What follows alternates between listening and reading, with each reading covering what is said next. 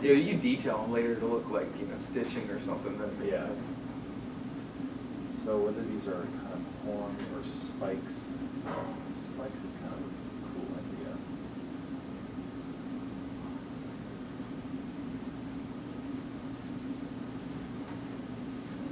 On and on it goes. Um, what else? Oh, I think, well, he's gonna have wings and he's gonna need some tail. It's gonna help balance out you know, what's going on in here. It's a very thick tail, it can help its balance standing up as, as tails do on animals, they help certain animals with their balance. And These I can just keep, just keep dark for now, the focus really isn't on the leg, um, as long as it looks like he's standing in proper balance.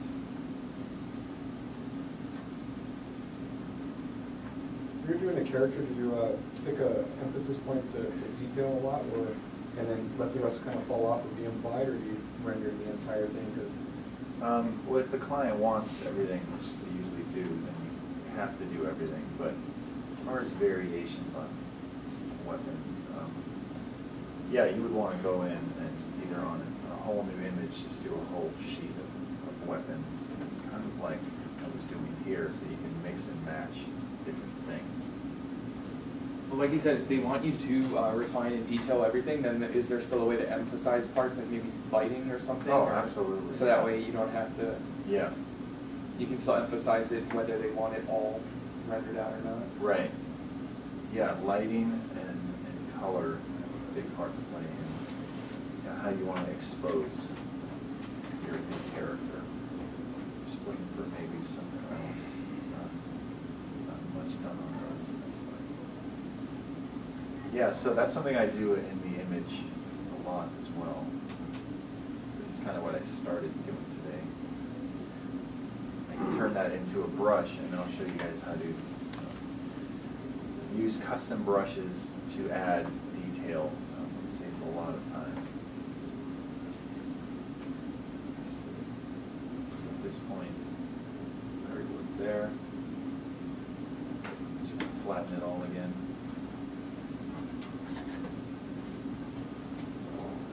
And, yeah, so if I did want to mess with, with color right away, lot of times I do this, I'll get kind of bored with the image. um, Duplicated the, the layer, colorize it. And it instantly adds to, you know, adds a whole new dimension to, to the mood of the character. And wherever I want my light, you know, to be, do I want it, do I want it backlit, that, I want it here, or front lit. So if I put a lot of emphasis on the front of the character like this, then I'm gonna need a lot more detail around this area. So I'm just using the dodge tool to lighten.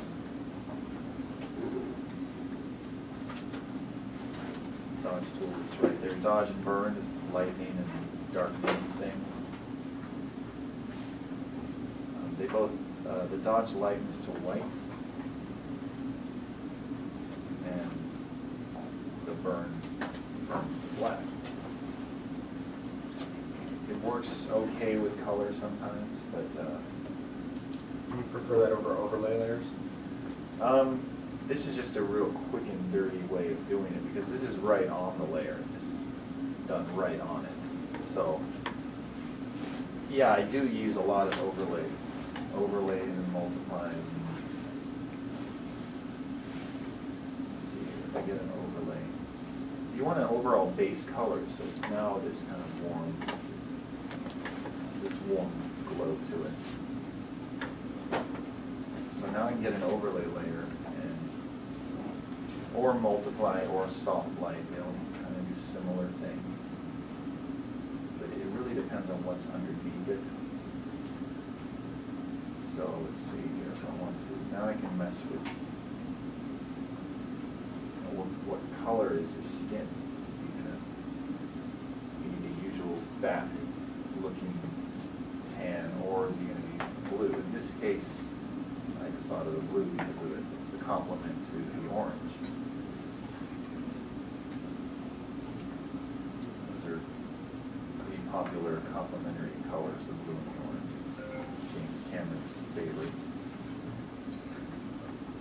obvious in, in Avatar, but in a lot of his movies, you see the, the blue and the orange complement. It works really well. So that works good for his skin. There was before. Here it is now. It's subtle.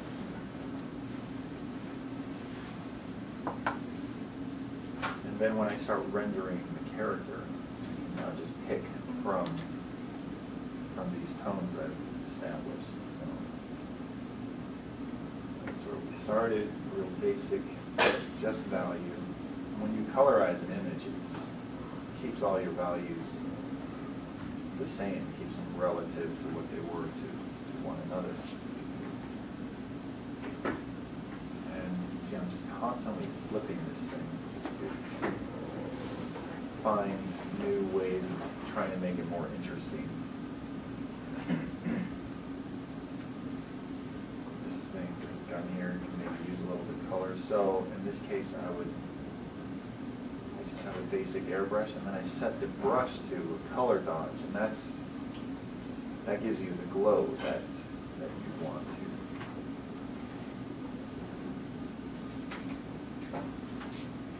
Give any kind of color glow to anything. Um, Do I want this thing more blue? Uh,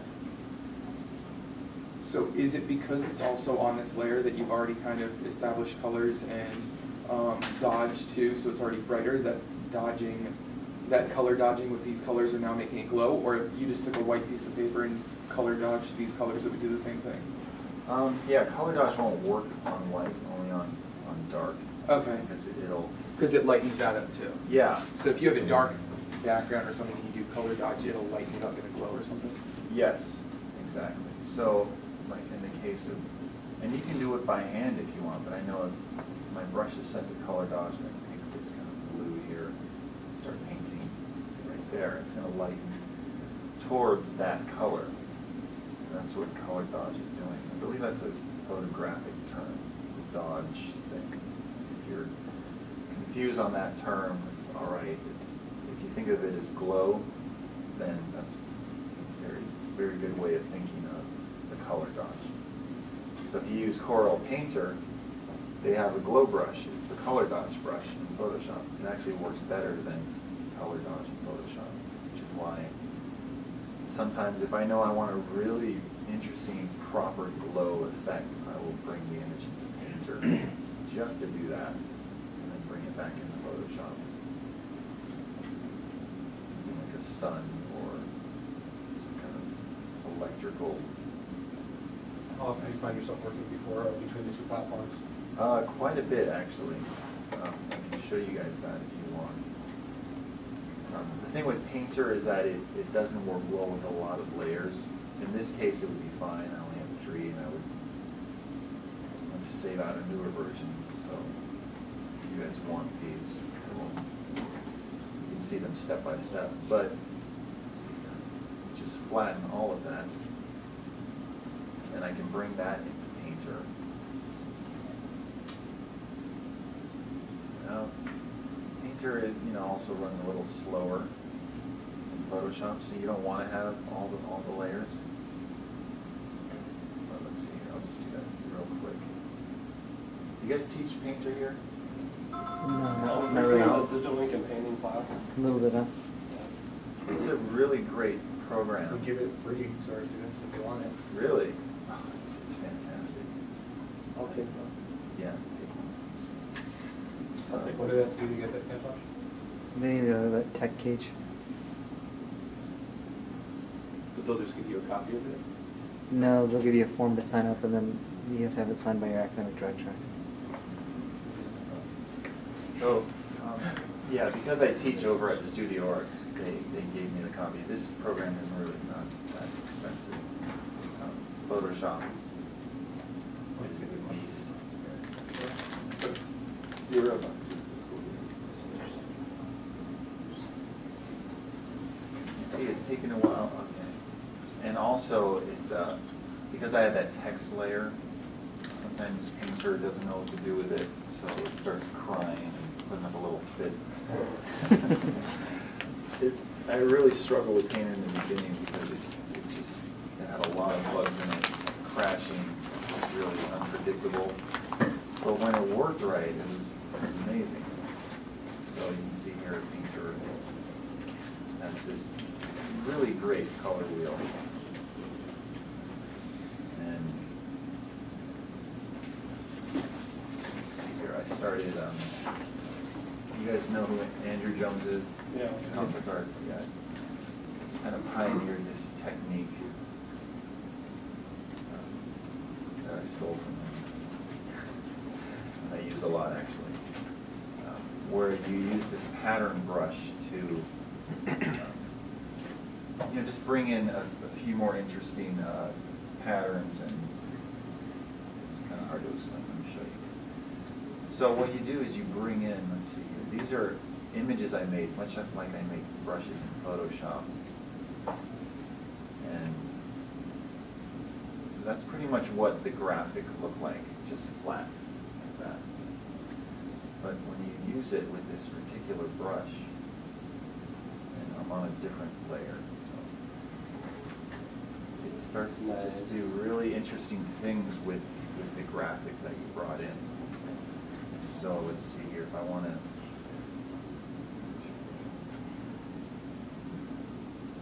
I want to use that for that weapon there. And I'll just, sometimes you don't know what, you don't know what it's going to You do. keep shaping it necessarily. differently, huh? Yeah, so that one doesn't look good, so I have a few here that I can choose from. Good There, maybe I'll overlay one here. Can you set a certain amount of stuff that you're gonna combine, or does it does it restrict that? Uh, with, with this particular brush, Yeah. well, basically, you're taking whatever graphic you brought in. In the case of, you know, you can make a circle and just do that with it. It's pressure sensitive, so I can press light, get a very thin line, and then press hard, all in one, all in the same stroke. What, is a certain brush, not, not the, not the picture you brought in, but pattern? Yeah, it's a, Pattern pa- it's a pattern pen. Um, You have all these, it's Mhm. kind of like your species and genus, you will, of, of painter. You have all these brushes here, which are all incredible. And then within each brush, you have variations of that brush. Here's that pattern pen. You can customize them. Um, In this case, I'm using a pattern marker. They all kind of do different things. It takes a little while to figure out what, what they can do. And then you import some kind of graphic, like in this case, I got this from like a clip art book, Butterfly. That looks kind of Victorian. I can use that to help me design um, a pattern within the wings. But again, it, it's abstract, so it's gonna give you an abstract thing. So you find, you find yourself Yeah. painting it, Like and maybe also right cropping there. parts of it, and shaping it? Yeah, yeah, you, Because it's hard to dictate what it does. yeah, you don't, you don't need to use all of it, that's the good thing about it. So that's, I like that, I like what it did there. So it- it's kind of this uh, interesting experiment that happens. I'm just gonna lasso that. I like that maybe for the wing, right back there. So I build up, you know, different layers with these different elements on them. So- And then what you do is that you paint within the selection, that's the key, you don't really leave it black. Um, Let me do a few more, I'll show you guys. So it adds, it adds a whole new level of, you know, complexity, I guess. It really wasn't, wasn't that much work per se. Like this is a, This graphic, this is something I saw on like this Aztec plate some museum.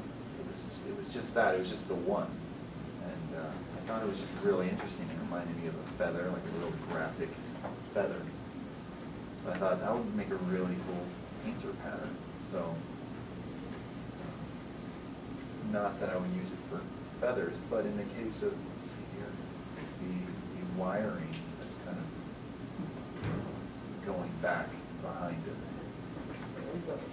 So, Kind, yeah, so you kind of some stuff like on your part. yeah, so sometimes it's the, the simplest patterns that are gonna do some really, really cool stuff with you. So, um, then I just, I select what I, had what I had done. Um, let's see here. In the case of, so it's really, I, I wanted the selection, I want the selection on this area, on this, this gun here. I'm gonna leave those black, so I don't have to worry about that. So here's the selection selected. You do the same thing in Photoshop. And then I can invert that selection. Start painting inside of it, so let's see. Your, your selection, just like you can in Photoshop. And you can see how you can reveal, this was the, I'm revealing the, the inverted part of it.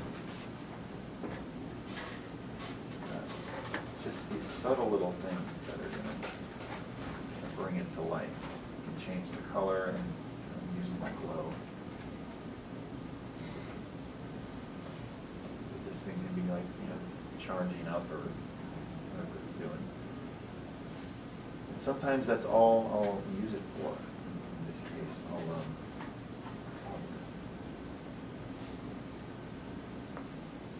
to keep these, these wires going back black or brown. So these subtle little introductions of, of texture really pull it all together. That. So again, it works a lot like Photoshop. Here's this, this wing here, which I'll do the same thing. So in Photoshop, if you hit Command or Control inside of your, inside of the box there of the layer, it'll select it. You can also do it manually by going to Select. and So forth. So in this case, I, I don't want it black, I just want the selection, so I'll just delete that layer. I'll delete it, and I'll also hide it, it, it speeds things up when you hide it. Where, where are you clicking hide right there? The show hide marquee. Is that it? Yeah, this, Okay. yeah. So another cool thing in Painter is that you can make these custom palettes with these, uh, you know, with tools or, or uh, keyboard shortcuts or anything like that. That's How kind do of, how do you do that? Do that by, how do I forget? It's been so long. Custom palette. Yeah, custom palette, uh, organizer, Add or add command. command to anything here. So I have custom palette twelve there. I can go to add command, add to twelve. Then I go up in here and say, okay, I want now fade in there. Whatever. And what do you do? You just click it or You just click it, you just click it and it'll, it'll go in there. And that's pretty much it. That's, That's it, it's a pretty cool little little thing that separates it from Photoshop. You have all your brushes, um, any brushes that you like, drag them down. Since I use a lot of these patterns here. Group them. So on and so forth. Separate them like that, squish them down.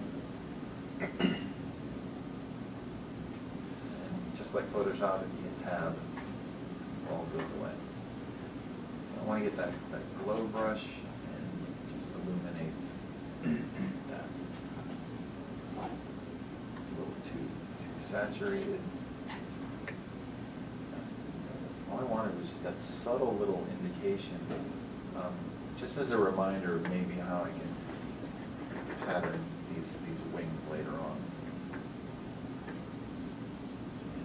little hints of you know, highlights or things like that.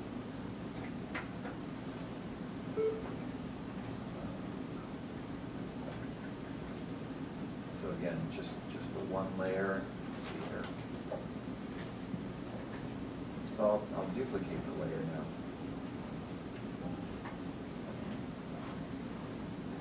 Another interesting brush is the digital watercolor brush, basically just like using watercolor. So it'd be like using a multiply layer in Photoshop. So I can see here, I can enhance, I can enhance the tones and and the colors that I already have using this.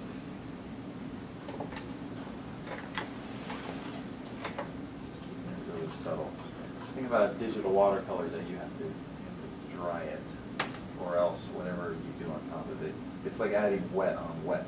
So if you've ever done watercolor, I can keep painting this, you know, adding different tones Oh, so you're just like blending over. Yeah, but once you, uh, you want to dry it so that you can use your glow brush efficiently on it. So layers, dry digital watercolor.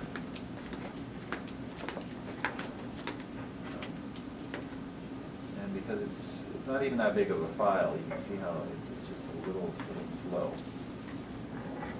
Let's see. So I can use that digital watercolor to help me and kind of fill in some of these gaps here.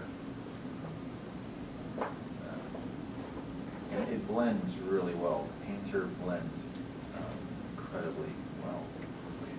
This is all just one, one stroke. I'm not lifting the pen off. You can see here that Photoshop can uh, simulate this uh, in the end, I guess, but it cannot do it the way that this is doing it. It's really nice.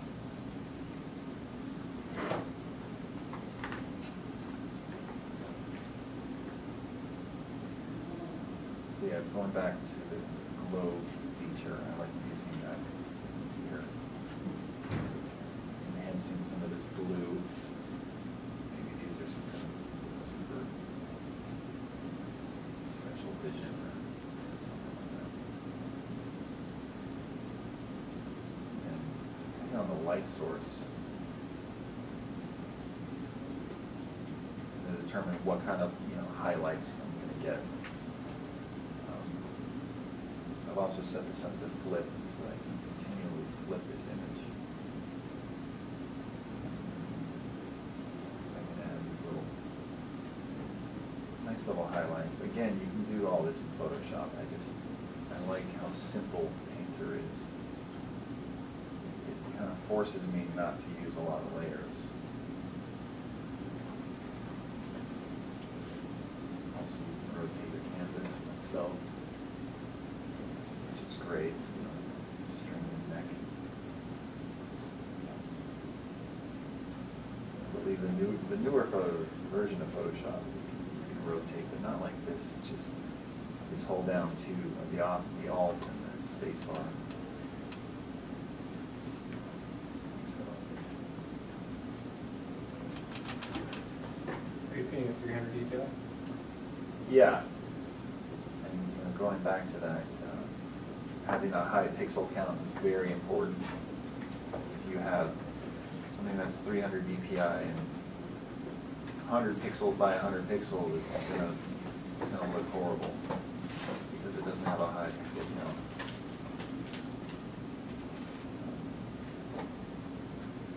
So, yeah, mainly again, what I use for use Painter for is these, these pattern pen and certain kinds of glow features, or sometimes I'll just, I don't feel like working in Photoshop, I just want to get out of it, there's just too many, too many options there.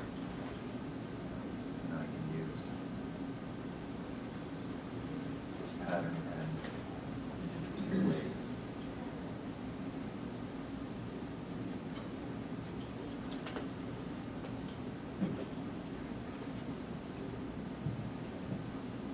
kind of look around the image and see where these things can help it out.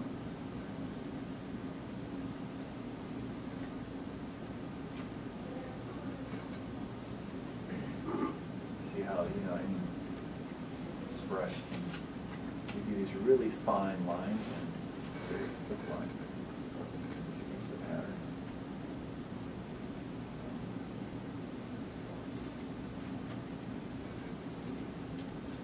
Put another, another pattern down and kind of see what happens.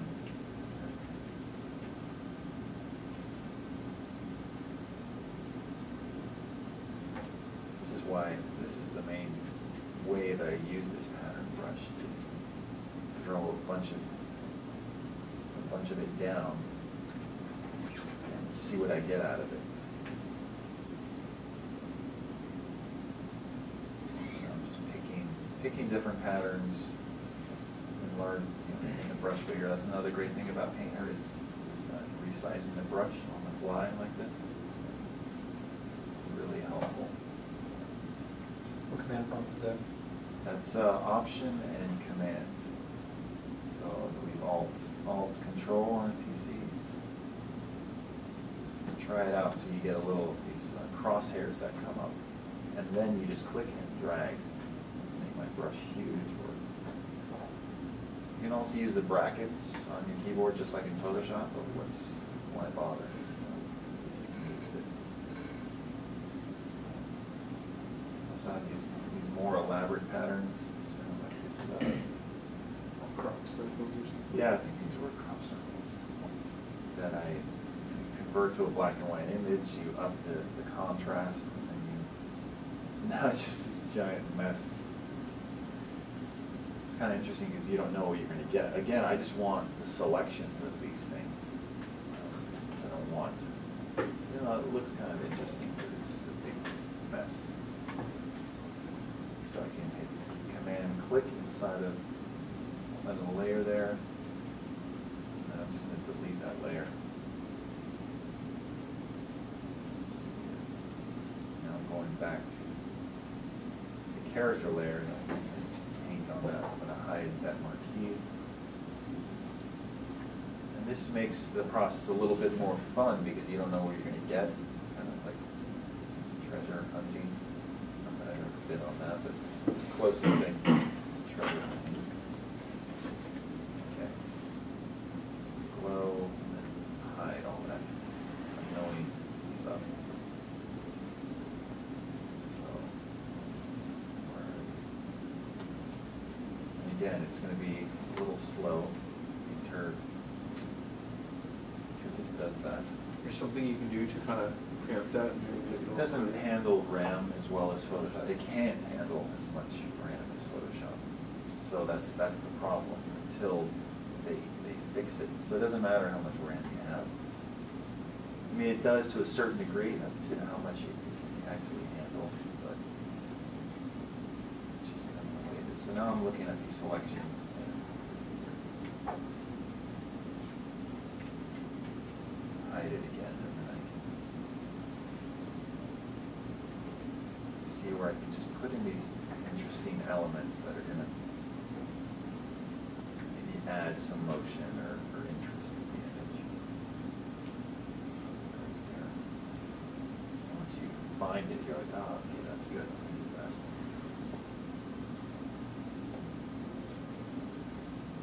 Experiment with different colors, I'm not really going too far from the blue orange. So I can pick my saturation right there, can put saturation here and just value right there.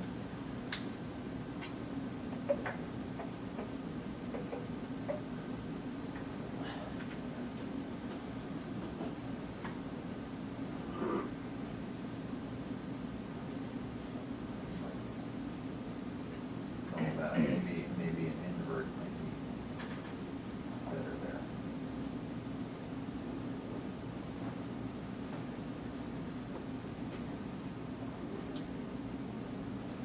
Just kind of do this and. that's good.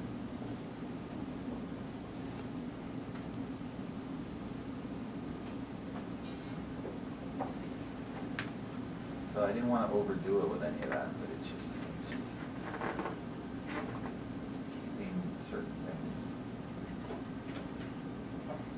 moving along. All right, you've got the floor. Yeah, we're ready. All right. Sit down, be quiet.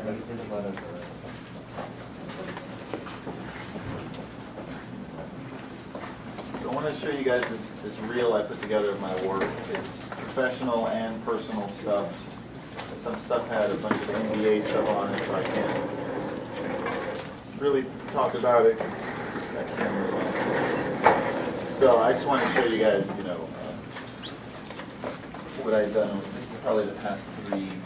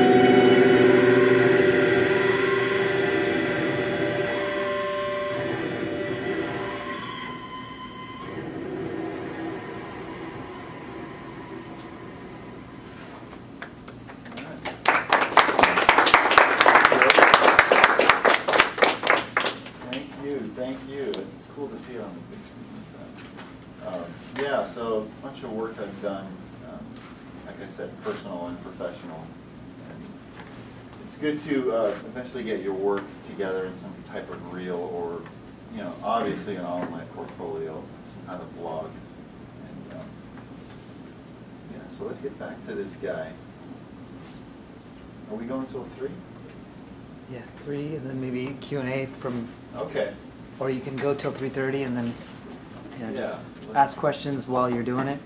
Or they can, yeah, three thirty is it. Then. Okay, so, let's, um, I'll make a brush that now I can use to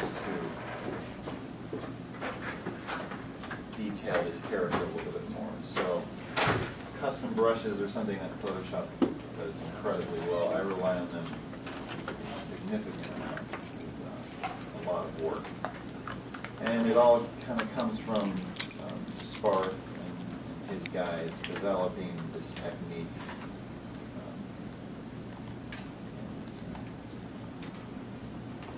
um, Of making, you know, something from scratch and then reusing it. Again, going back to uh, the guns we were looking at earlier.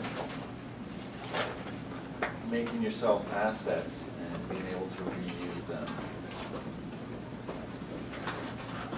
as much as possible. It makes less work for you, and uh, it just helps you to grow as, as an artist more. So making a brush is pretty simple.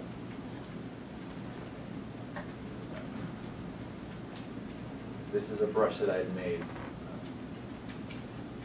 you know, obviously alien-esque. This was all made in Photoshop, it was rendered out, and by using some filters, I was able to achieve this effect. And then I made this into a brush that I can actually paint with, and, uh. So you start with just a blank canvas. A brush file doesn't need to be any bigger than five, five megabytes. That's even pretty, that's pretty big for a brush, but if you want your brushes high resolution, then go ahead and have something, you know, four or five megs, but, you know, one megabyte is, is a good size for a brush, so. You have your background, you get a new layer, and basically, it's just a matter of getting some kind of graphic up there, either with the lasso, or you can use a piece of photography to make the brush. Let us see. So I'm just gonna make some kind of simple graphic.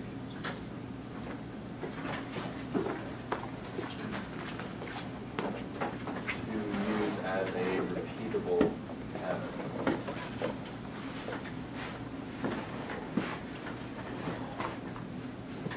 So I'm holding down shift and I'm able to add to this selection. I hold down option or alt, and cut away from it.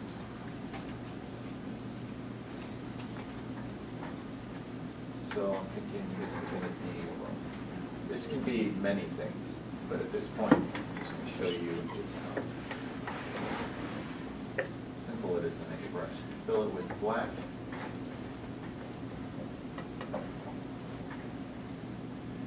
You a new layer on top of that, and you want to fade the edges. This is going to give depth to the brush. So I'm just going to take the white that's around it, kind of fade off some of the edges. And you'll see why it's important to do this when you're actually painting with the brush.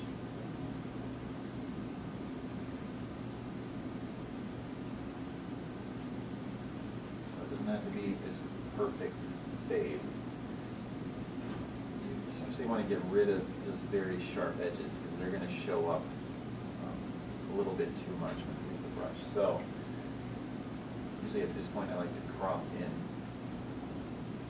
save space. And then I flatten the entire image. And then you go to edit, define brush preset. Hit OK. and your brush is now brush. So you find it in your brush palette, just open that up. And where it says brush presets, you wanna click on that and your new brush will show up there at the bottom. This is what it looks like completely unedited, there's no fade. There's only the fade that you hand did on it. But you can see here, if I start painting with this, it just ends up all opaque. There's- There's nothing, nothing there. So what you wanna do is click on other dynamics. That's gonna give you that pen pressure fade. So now if I softly press, I get something. If I press hard, I get more opaque, and I can lighten up. So, that's the first thing you want to do. At this point, I'm going to, on shape dynamics, I'm going to change that, where it says angle jitter, I'm going to change it to direction. Turn all these sliders down. And this is going to allow the brush to paint in, in the direction that my pen is going. So, this is great for doing chains or ropes or scales or alien-esque things that you can see what it's doing there. You can also change under brush tip shape, change the axis of the brush. See what it's moving around. Change the spacing.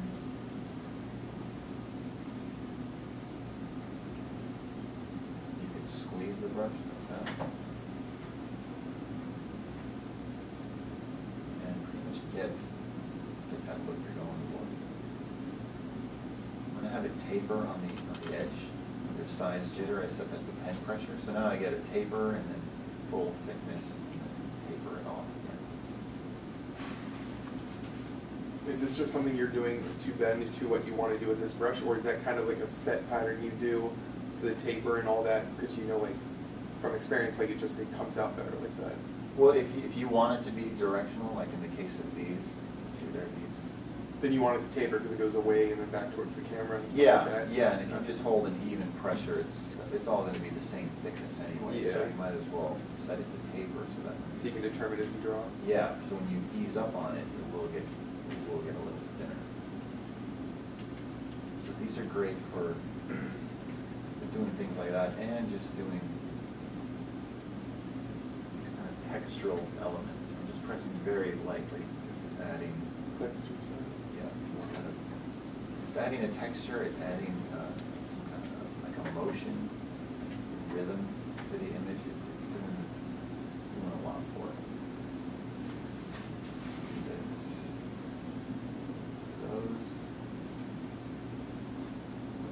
These are. And it- it's subtle stuff, but it really kind of comes through when you look up close at the painting. So if I like that brush, in this case, I want to edit it a little more, you need to, you need to save the brush. Straight up like that, I'm gonna unsqueeze it a little bit, spacing.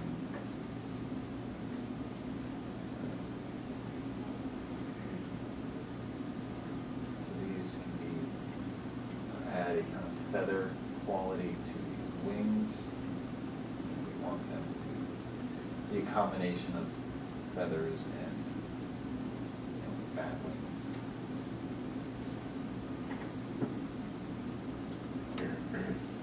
You Still have this brush set to color dodge, you need to make sure, you see up there, it's set to color dodge, it's gonna, you know, paint a little differently, so I'm gonna change that back to normal. So once you like the brush, you wanna click on the little icon at the bottom of the brush palette, just click on it, hit okay, and save. There's the new saved brush, here's the, the previous one that I brought in. I'm gonna hit option, get rid of that. So now all I have is that one.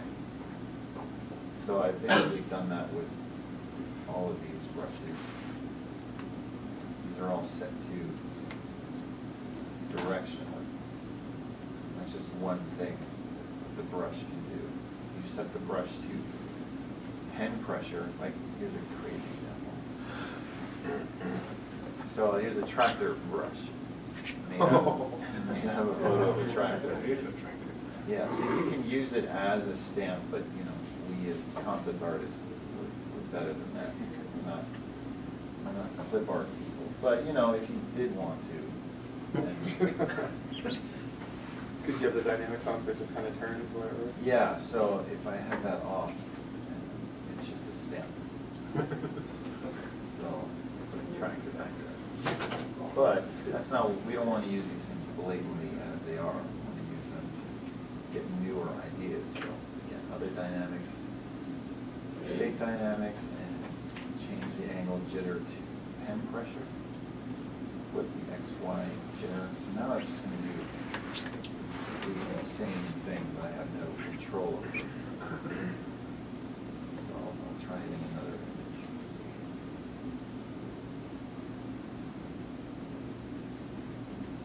At this, after you make a brush, you, you flattened it, but I like to always undo that. Flatten, so now I have the layers back again. In that case, I can just have my graphic, and I can adjust the fade, I can adjust the opacity if I wanted to, I can go back to graphic and make it completely new. So.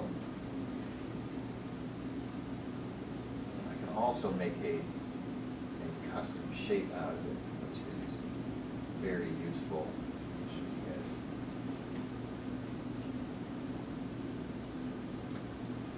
So once you have a selection of something, you go into your paths palette and click on the icon make um, path from selection. So now it's, now this is what's called a path. It just looks like an outline of whatever graphic you made. Graphic had some crude edges, it's gonna pick that up. If it's a low resolution image, it's gonna pick up in a more crude kind of way. But now I can make that path into a custom shape. So I, where we find define brush preset, we go and click define custom shape. So I'm using that brush um, now to make a custom shape, so I'm doubling my efficiency. So those things are good for,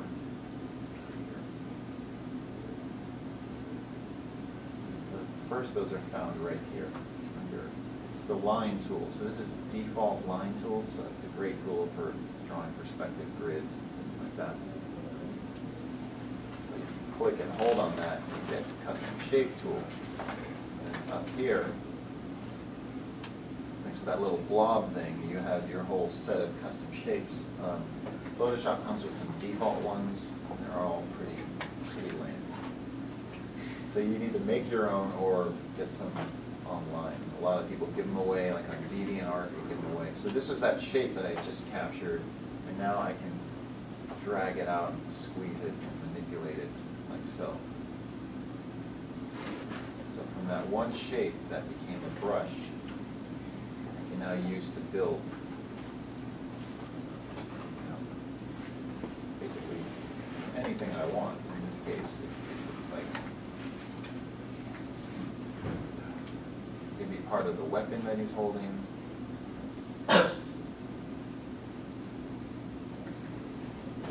It's just being, uh, trying to be as efficient as, as possible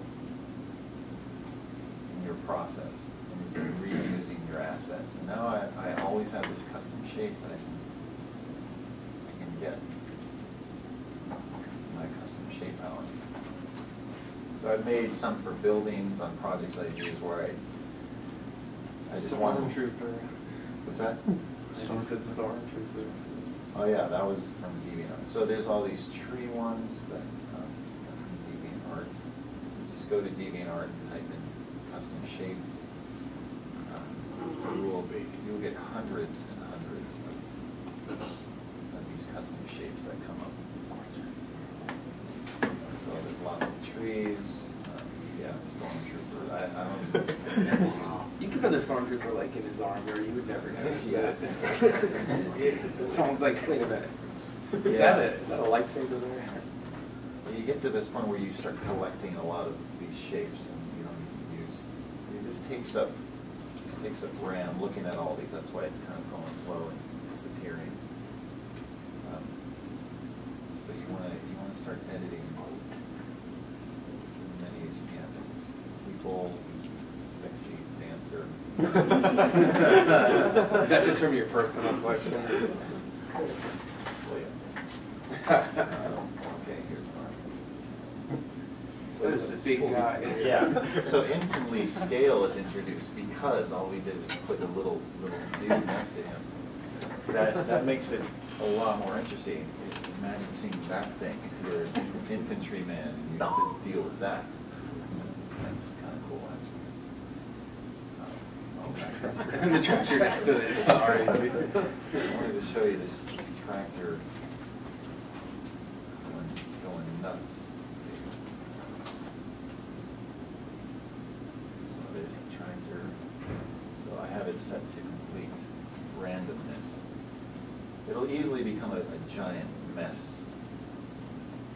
But eventually you can start finding things.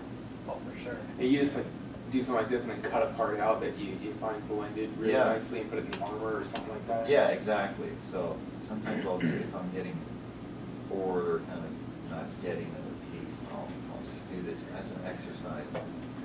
Something always eventually comes out of it. I'll always find something.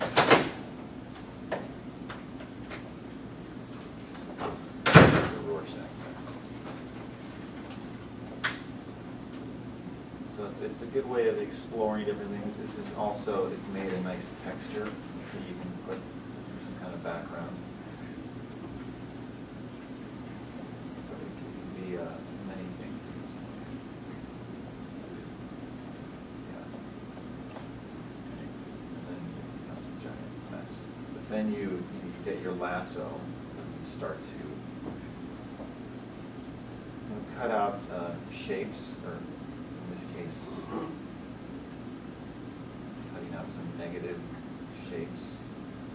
Some crazy large. Is there a reason you do it so jaggedy instead of just kind of selecting what you like? Does that give it more of a Um, at this point, accidental not, kind of feel? yeah, and at this point, I, I don't even, I'm not sure what I like any of this. It's just, but I, I want to some of it forward, this area right here.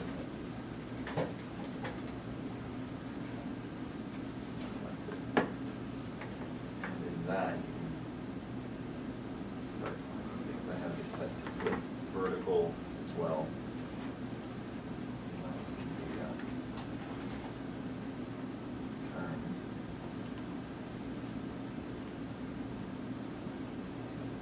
So it's a great way to experiment if Like a breach. you don't know.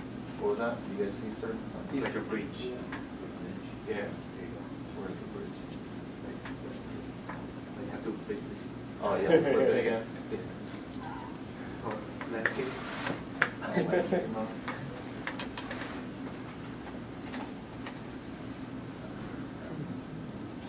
Is that what he's on? Yeah. You do start seeing a lot of cool shapes though. Yeah.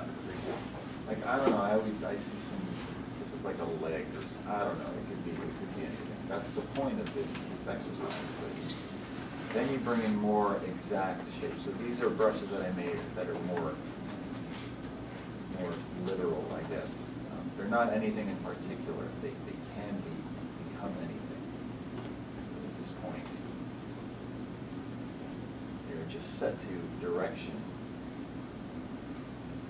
And these are some alien shapes that I've made, so.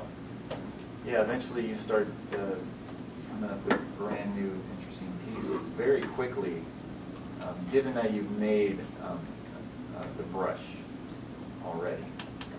But this brush was made just the way I showed you guys how to make that other one. A little bit more thought was put into it. But it looks like that.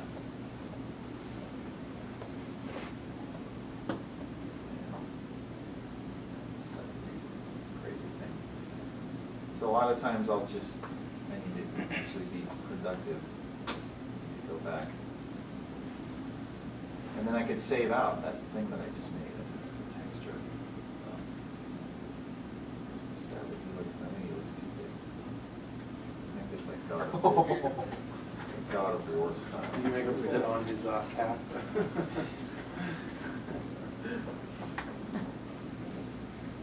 Your trees got pushed up. Yeah. That's the thing, they're all on different levels. So, you know, Just gonna sit by his tail. So it's, it's good to bring in, you know, scale is important. Um, Obviously, if you want this thing to be huge, you need to indicate that somehow, either with a person, because we instantly know now how big this thing is because of, because of this guy.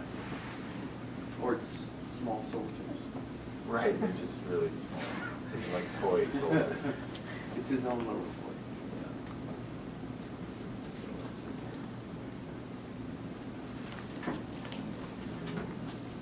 Have that there.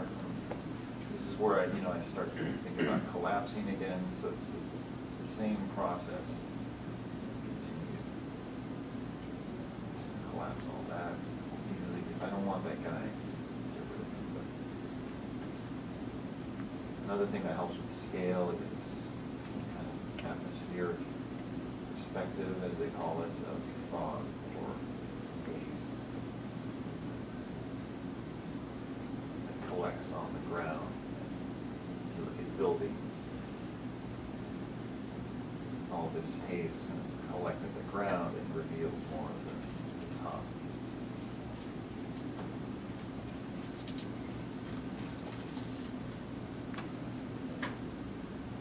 So he could still be all these things that we want him to be. Uh, I get, I lost the text, so. uh, Still steampunk because of the, the goggles. Um, we can add, see, some more. Some more wiring and stuff in all the, uh, the insides, these, these weapons still need to develop, but it's, it's well on its way to becoming something interesting. And I can play with different colors as I go on by using uh, adjustment layers. It's found down at the bottom of the layers palette. I can go to selective color. If I want to lessen some of these reds or put different colors inside of the reds, I can move these sliders around. Let's see. This is affecting all of the reds by either removing cyan or adding magenta, so on and so forth. Can affect Yeah, that's really pushed him forward in the back and back, which is good.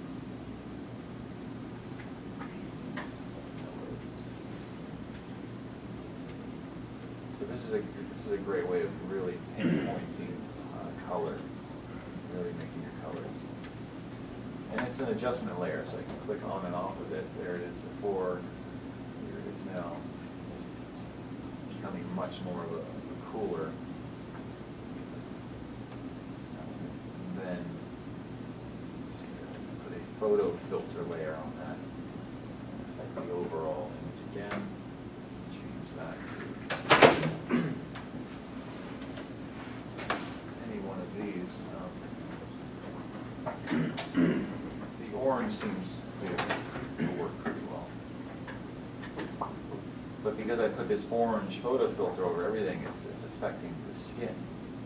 So what if you didn't want to affect? The front. Yeah, it's already set up as a mask, so now I just need to paint inside of it. So when you paint inside of the mask, you either reveal or, or erase, you're not really erasing, but you're just giving the appearance of it. So if I paint with black, see there, I'm revealing that blue underneath, so I'm painting inside of the mask. But I'm not erasing anything. I can always bring it back if I hit X, paint with white, get back what I initially started out with. But this is great for doing subtle color variations. In this case, maybe it's a little bit, maybe it's a little bit more green here and a little bit more blue in the chest.